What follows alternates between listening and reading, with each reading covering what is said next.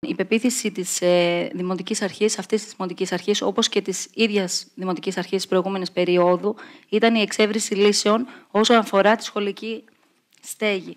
Γι' αυτό λοιπόν κινήσαμε τις διαγωνιστικές διαδικασίες για την εξέβριση στέγης και έτσι να γίνει η μετεστάγαση από το κτίριο Βακούφ σε ένα ε, σύγχρονο εκπαιδευτήριο.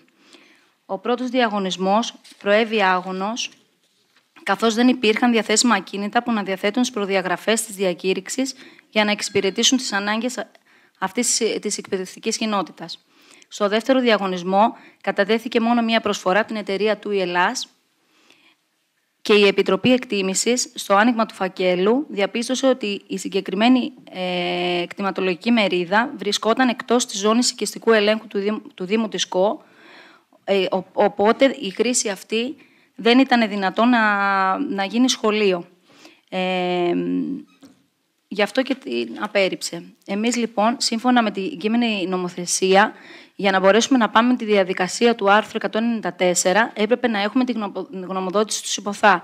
Σε αυτό το σημείο θα ήθελα να συμπληρώσω το Δήμαρχος. Έκανε συγκεκριμένα για αυτό το θέμα ε, ταξίδι στη Ρόδο για να, για να ενημερωθεί για να μπορέσουμε να προχωρήσουμε και να μπορέσουμε να πάρουμε αυτή τη στιγμή το ακίνητο. Κινούμε τη διαδικασία για την ε, απευθείας μίσθωση του ακινήτου για τη στέγαση του εργαστηρίου ειδικής επαγγελματικής εκπαίδευσης και κατάρτισης, που βρίσκεται στη ζώνη, στη ζώνη 6. Ε, ε, λόγω των δύο άγωνων διαγωνισμών. Στην Οικονομική Επιτροπή περάσαμε το θέμα, αλλά πρέπει να το περάσουμε από το Δημοτικό Συμβούλιο και γι' αυτό σήμερα ζητάμε την ψήφισή σας στο θέμα αυτό, που είναι σημαντικό για τα παιδιά. Το ΕΚ στεγάζεται σε έναν χώρο εντελώς ακατάλληλο, αντιπαιδαγωγικό, όπου εκεί πραγματικά υπάρχουν συσσωρεμένα όλα τα αντί που θα μπορούσε να σκεφτεί και να προσδιορίσει οποιοδήποτε από εμάς.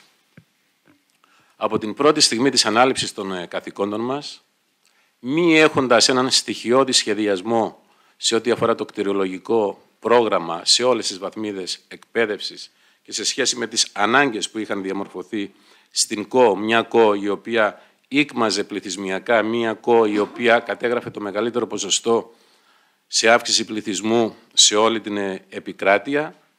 Κάναμε έναν αγώνα δρόμου, είτε αυτό αφορά στο ΕΕΚ, είτε αφορά σε όλα τα υπόλοιπα σχολικά κτίρια, για να αναζητήσουμε καταρχήν γη και να προχωρήσουμε στη συνέχεια στον, στο επόμενο βήμα του σχεδιασμού που έχει να κάνει με την εκπόνηση μελετών και την ανέβρεση χρηματοδοτικών εργαλείων. Από το 2020 λοιπόν ξεκινήσαμε έναν αγώνα δρόμου χέρι-χέρι με την εκπαιδευτική κοινότητα και τους γονείς και τους κηδεμόνες. Διαπιστώσαμε τότε ότι αυτό το κτίριο που ουσιαστικά θα φιλοξενεί περίπου 25 μαθητές αύριο, ίσως 30, που κάποιος θα περίμενε να ακούσει για 100 τετραγωνικά κτίριο, κατελάχιστον πρέπει να διαθέτει 500 τετραγωνικά λειτουργικής επιφάνειας, γιατί ουσιαστικά κάθε μαθητής πρέπει να έχει και να υπόκειται σε μία ατομική εκπαίδευση. Πέρασαν τρία ολόκληρα χρόνια αναζητώντας το κατάλληλο κτίριο, είτε που να έχει καταρχήν αυτές τις προδιαγραφές, είτε που να μπορούμε να το διασκευάσουμε και να το μετασκευάσουμε, προκειμένου να αναλάβει αυτό τον ιδιαίτερο τύπο εκπαίδευσης. Και ενώ φτάσαμε, όπως λέει και ο λαός μας, στην βρύση, δεν ήπιαμε νερό τότε, όταν ένα κτίριο που είχαμε βρει μαζί με την διοίκηση και τους γονείς, έτυχε αντικείμενο διαφοράς των συνειδιοκτητών, με αποτέλεσμα να χάσουμε έναν ολόκληρο χρόνο, έναν πολύτιμο ολόκληρο χρόνο για τον σχεδιασμό μας. Εμείς όμως δεν το βάλαμε κάτω και επανήλθαμε.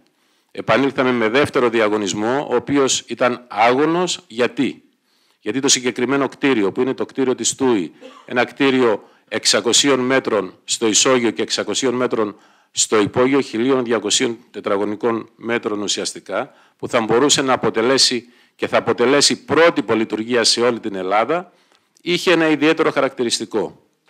Ενέπιπτε και εμπίπτει στη ζώνη 6, στην βιοτεχνική ζώνη.